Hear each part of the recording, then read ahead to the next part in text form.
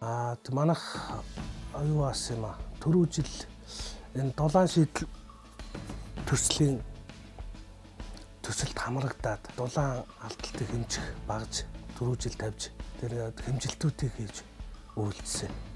Би бол яг доороос нь таазаа болохоор доороос нь хөөс шахацсан дээрээс нь шилэн тэр нэмхэн шилэн ингээд тавьсан болохоор ер нь таазны дулаалга бол болж байгаа гэж тооцож явсан байхгүй юу.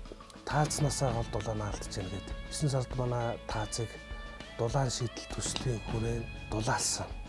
Тэр базалт шилэн өнгөөр яг нөгөө стандартын дагуу дулаалгын ажлыг гүйцэтгсэн.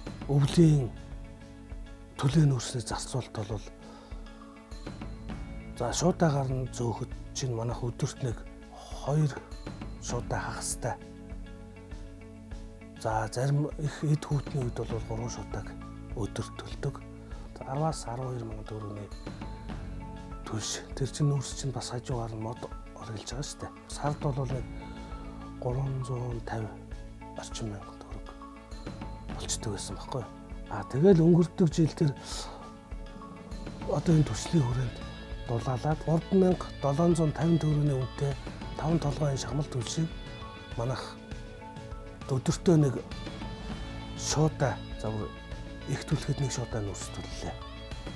Нүүрсний хэмнэлт гэдэг чинь эдийн засгийн хэмнэлт болчихж байгаа байхгүй юу? Хамгийн гол нь яагаад тэгж ийм хэрэг нь юу юм бэ?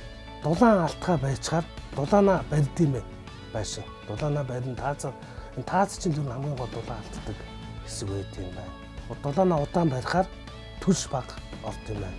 Тэгээ энэ жил бол яг нэрээ яг үннийг хэлэхэд бол тэгээд энэ төслийн юугаар таазаа дулаалуулаад гэсэн буйна хэдэлж байна. Яг үннийг хэлэхэд тий